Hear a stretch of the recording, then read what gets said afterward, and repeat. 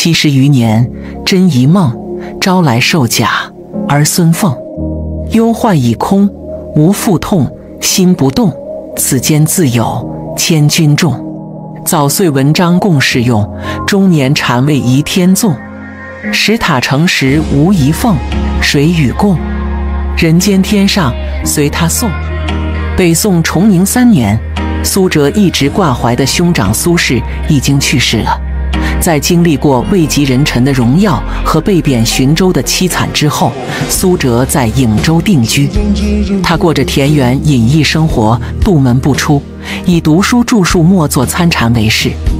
苏辙一直被其兄巨大的光环所掩埋，一提苏辙，就必然先介绍他是苏轼的弟弟，甚至连《宋史·苏辙传》也说：“辙与兄进退出处无不相同。”而事实上，苏辙为文自成一格，政治上的抱负也更大。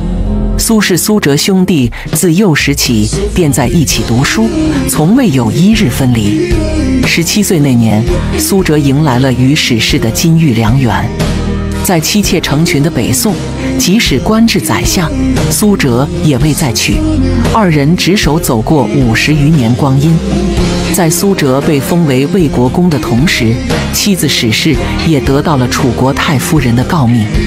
他们有三子七女，皆是史氏所出。为了让女儿们风光出嫁，苏辙不惜卖掉在开封城郊买下的良田。他是一个好丈夫、好父亲，也是一个好弟弟。十九岁时，他与哥哥苏轼进京参加礼部会试，在嘉佑二年的激烈竞争中，兄弟二人同登金榜，震惊汴梁。宦海沉浮和分隔两地，让二人对床听雨的约定难以实现。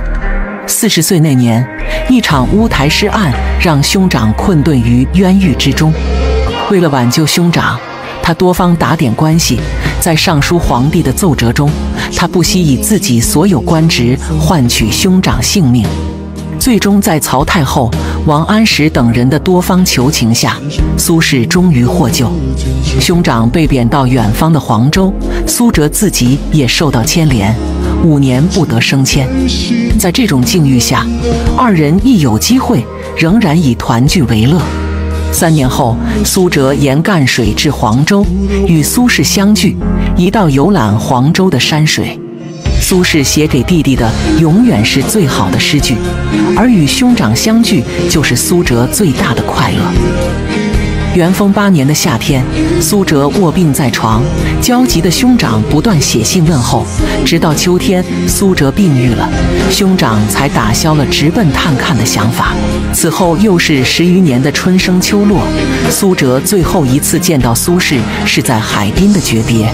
四年后，苏轼在常州去世了。苏辙得知后，在悲痛中为其撰写祭文，将苏轼的家小安顿到自己家中。兄长去世后，苏辙闭门谢客，在默作参禅中度过了余生。公元一千一百一十二年，苏辙去世，享年七十四岁，葬于夹县苏轼的墓旁。